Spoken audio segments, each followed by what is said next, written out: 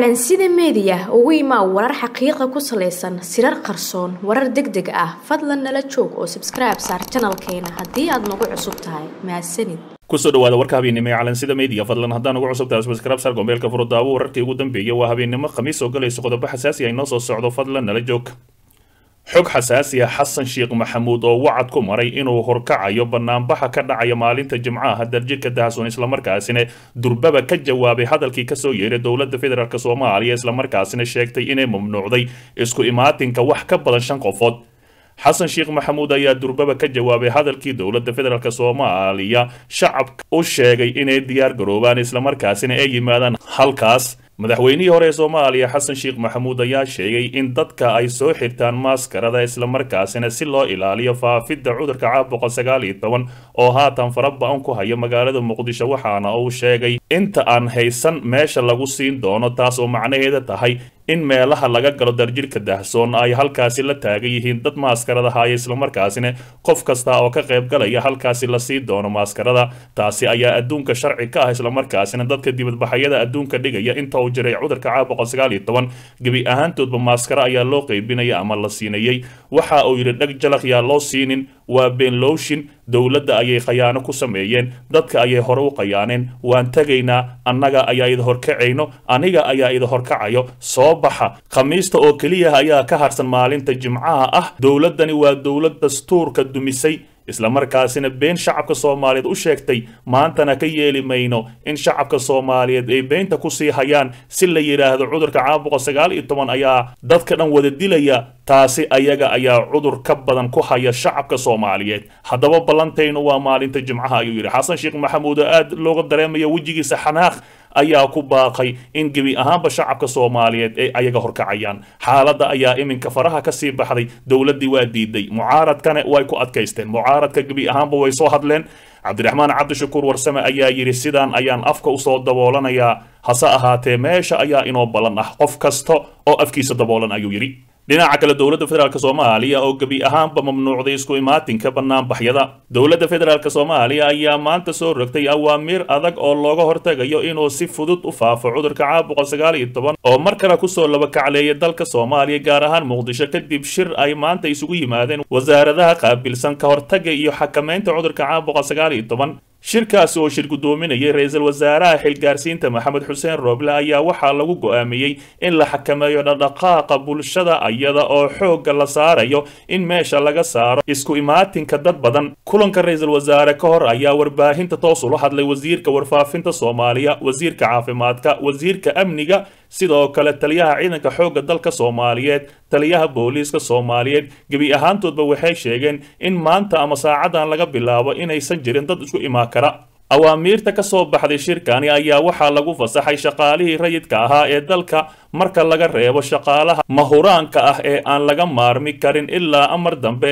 Waxaana gebi ahaanba la joojiyey isu imaatinka iyo is-uruursiga bulshada. Sidoo kale waxay xukuumadda waajibisay in dadka ka shaqeeya meelaha aan looga maarmi karin ay qaataan afsaar ama maaskarada iyada oo la joogtaynayo kala fogaanta masaafo aan ka yareen hal mitir ilaa laba mitir ayaa layidhi waxaa xusid mudan in awaamiirtaani aan si faahfaahsan loo sheegin waxa laga yeelayo goobaha waxbarashada iyo gaadiidka dadweynaha oo ah meelaha kulmiya dad tiro badan waxaana qoraalka lagu yidhi goobaha waxbarashada gaadiidka dadweynaha iyo goobaha ciyaaraha. Waxaa loo xakamayn doonaa si gaar ahi. Amarkan cusub ayaa waxaa laga talageliyey madaxweynaha wakhtigiisa uu ka maxamed cabdilaahi farmaajo kaasi oo ku raacay in la dhaqan geliyo waxayna ku soo aadayaan xilli uu caasimada ka socdo abaabulka banaanbaxa ay iclaamiyeen musharaxiinta mucaaradka oo iminka ugu dambeysay uu ka hadlay xasan sheekh maxamuud. Si dhab ahi uma cadda in xukuumadda rooble ay is-hortaagi doonto banaanbaxa hase yeeshee awaamiirtani cusub ayaa meesha ka saaraysa in caasimada iyo guud ahaan dalka laga qabto isku imaatinada dadka aadka u fara badan. Dhinaca kale boqol iyo labaatan qof oo maanta laga helay cudurka caabuqa sagaal iyo toban wasaaradda caafimaadka dowladda soomaaliya ayaa faahfaahisay wararkii ugu dambeeyey cudurka caabuqa sagaal iyo toban. Wasaaradda caafimaadka ayaa sheegtay in maanta guud ahaan cudurka laga helay boqol labaatan iyo toddoba ruux oo ku sugan muqdisho puntland koonfur galbeed jubbaland iyo hirshabelle. Islamarkaasina ay sare u sii kacayaan kiisaska cudurka caabuqa sagaal iyo toban tirada afar iyo labaatankii saacay ugu dambeeyey laga baaray caabuqa sagaal iyo toban guud ahaan waa lix boqol soddon iyo toddoba qofood. Waxaa laga helay boqol labaatan iyo toddoba qofood. Banaadir boqol labaatan iyo lix qofood hirshabeelle hal qofood toddobaatan iyo saddex qofood. Waa rag konton iyo afar waa dumar sagaal ayaa dhimatay.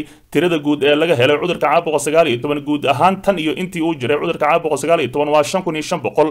Waxaa bogsatay saddex kun toddoba boqol iyo konton guud ahaan dhimashada waxay maraysaa boqol toddobaatan iyo laba ruux fadlan dib u daaw wararkeenii hore ee calansida mediya xog xasaasiya nabadoonnada iyo odayaasha beesha hawiye oo ku baaqay in ay hogaamin doonaan banaanbaxa maalinta jimcaha islamarkaasina waxa ay sheegeen in gebi ahaanba banaanbaxaasi uu yahay banaanbax nabdoon. Dadkana u ballan qaaday inay ku hogaamin doonaan halkaasina isugu imaan doonaan. Nabadoonaxaad waxaan rabnaa in maalinta jimcaha ah aan hogaamino banaanbaxa madaxweynaha xilka baneeyo. Gudoomiyaha baarlamaanka ha loo dhiiba ayuu yidhi xilka islamarkaasina qof kasta oo shacab oo reer muqdisho ay isugu soo baxaan halkaasi. Nabadoon ayaa sheegay ayagoo odayaasha dhaqanka iyo badbaadinta qaranka soomaaliyeed ay isku soo baxaasi ka soo qaybgali doonaan islamarkaasina waxa uu yidhi waa waajib ina saaran waa dastuuri waa qof walba xaqa uu leeyahay inuu muujiyo. Tusaale ahaan maalin dhoweed markii saddex iyo tobanka kursi ee aqalka sare uu ku dhawaaqay madaxweynihii xilkiisa banneeyey ee farmaajo banaanbax weyn ayaa magaalada muqdisho lagu qabtay halkaasi waxaa ka soo qayb galay duqa muqdisho cumar finish iyo xildhibaano. Si nabdoon ayay halkaasi daljirka dahsoon ugu qabsadeen banaanbaxyo iyo fantasiyo waaweyn halkaasi fanaaniin ayaa ka haystay. Cid qalalaasa ku samaysa ma jirto maxaa diidaya odayaasha iyo shacabka soomaaliyeed oo nabdoon inay halkaasi ku soo banaanbaxaan ayagoo bakooradahooda cugsanaya halkaasina qoray aysan wadanin bastoolad aysan wadanin toorey aysan wadanin halkaasi makarofon oo keliya inay ku hadlaan. Miyaa lagu tilmaami karaa qarandumis waa maya haddii maanta madaxweyne farmaajo yidhaahdo soo baxa oo itaageera malaayiin qofood ama dad badan ayaa isku soo baxaya islamarkaasina taageero u muujinaya madaxweyne farmaajo madaxweynaha xilkiisa dhammaaday. Si kastaba ha ahaatee odayaasha dhaqanka ayaa wacad ku maray inay hogaamin doonaan halkaasi ciddii xabad ridaahi loo qabsan doono ammaanka meeshaasina loogu talagalay in ay ciidamada ammaanka ilaaliyaan. Qofkii dhaawac soo gaaraana mas'uuliyadda aygaa qaadi doono ayay yidhaahdeen odayaasha beesha hawiye u hogaamiyo nabadoon xaad dhinaca kale warmurtiyeed laga soo saaray shirkii guddiga farsamo ee baydhabo ka socday shirka guddiga farsamo arrimaha doorashooyinka federaalk ee ku qabsoomay magaalada baydhabo kaasi oo ay yeesheen wakiilo ka kala matalayay dowladda federaalk soomaaliya dowlad goboleedyada iyo gobolka banaadir ayaa heshiis buuxa lagu gaaray waxaana laga soo saaray warmurtiyeed. Shirka guddiga farsamada arrimaha doorashooyinka federaalk ee ku qabsoomay magaalada baydhabo ee caasimada kumeel gaarka ahi ee koonfur galbeed waxa uu ku soo dhammaaday guul guddiga oo ka duulaya mabaadi'da aasaasiga ah ee wadar ogol isu tanaasul iyo isqancin iyo tixgelin xaalada dalka ayaa si khato dheer ugu dooday qodobada caqabadaha ku ahaa fulintii heshiiskii toban iyo iyo daruufaha ku xeeran qabsoomidda doorashooyinka dowladda federaalk soomaaliya. Guddiga waxay si gaar ahay diiradda u saareen dhiiragelinta farsamada iyo xal u helidda qodobada hoos ku qoran kow cabashada laga muujiyey in qaar ka mid ahi xubnaha guddiga doorashooyinka aysan waafaqsaneen habraacyada iyo shuruudaha xubnimo ee guddiga doorashooyinka ee lagu qeexay heshiiskii toban iyo toddobadii sebtembar laba kun iyo labaatankii gaar ahaan in ay jiraan xubno ka tirsan shaqaalaha rayidka iyo hay'adaha amniga nisa laba xal u helidda guddiga doorashooyinka kuraasta somalilan saddex xaaladda gobolka gedo oo la xaliyey afar adkeynta qoondada haweenka shan jadwalka qabsoomidda doorashooyinka.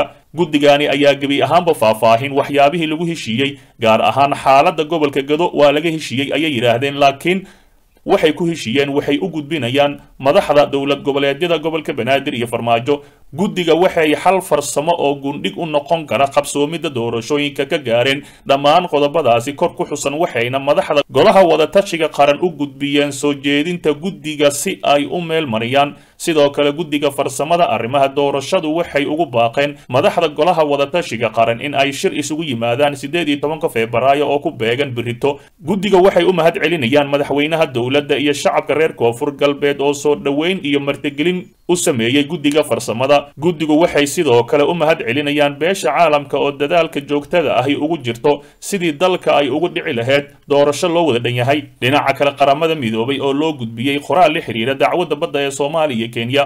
Guddoomiyaha madasha ban african david ayaa u gudbiyey xoghayaha guud ee qaramada midoobay qoraal xasaasi ah oo la xidhiira dacwadda badda ee u dhexeeya soomaaliya iyo kenya ee hortaalla maxkamadda adduunka. David ayaa ka dalbaday antonio guteres inuu hor istaago go'aanka madaxda cadaaladda i c j ee dhegaysiga dacwadda badda ee labada dal. Guddoomiyaha madasha ban african ayaa sidoo kale ugu baaqay xogayaha qaramada midoobay inuu u istaago baajinta dhegaysiga dacwaddaasi. Sidoo kale wuxuu intaasi ku daray inay habboon tahay in dib loo dhigo dacwadda ka furan i c j si looga fogaado wax kasta oo sababi kara inay ka sii daraan qalalaasaha iyo xiisada siyaasadeed ee haatan ka jirta. Dalalka dhacageeska afrika ninkani oo kenya malaayiin dollar soo siisay ayaa waxa uu isku dayayaa in maxkamadaasi laga hor istaago in la dhegaysto shan iyo tobanka maarso. Hase ahaatee taasi yaa ka yeeli kara. Lama oga in antonio guteres oo waraaqad u diri doono maxkamadda adduunka uuna baajin doono laakiin howshaasi asiga uma taallo